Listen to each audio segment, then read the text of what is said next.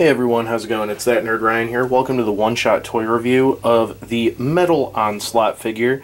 So fun enough, this is not technically an official Build-A-Figure. Uh, the Red Onslaught was, and then later on they released an X-Men wave that had Meta uh, Metallo, Magneto's head uh, to replace with the Red Skull. I cannot find the Red Skull head right now, so I figured we'd do Metal Onslaught instead since that's how I had them displayed for years. So this guy goes on eBay for about $90 right now, which is insane. Comes in at about 8 inches tall. And uh, yeah, I mean, he is a menace. It looks, the sculpt looks really cool, especially for back in the day. And the colors are pretty standardish too. Got a giant leaf shield on the back, it looks like.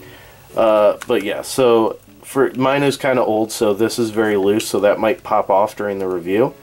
But head can rotate like so and so, go up and down. Arms are a little limited on their movement.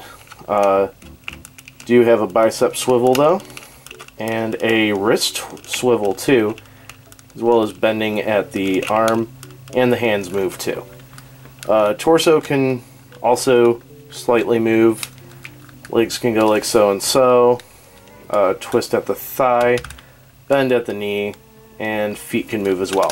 So with the limited articulation, it does kind of affect the figure and also not help his balancing situation.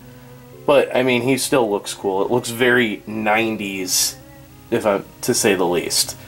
I'm going to go ahead, give this figure a 6 out of 10, just articulation very limited. And yeah, I hope you guys enjoyed the video. Be sure to leave a like, comment, subscribe, ring that bell, and follow me on all my social media down below. It's That Nerd Ryan, signing off.